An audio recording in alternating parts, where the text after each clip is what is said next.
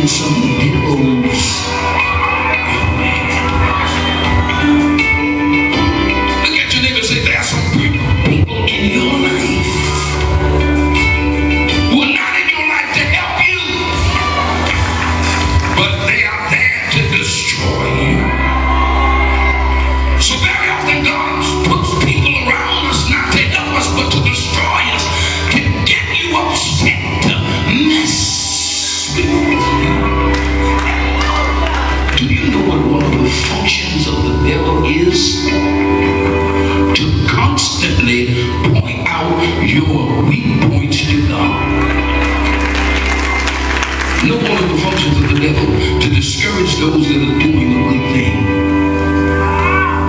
among us walks around discouraging people from working in the church, doing what's right, and blessing the pastor.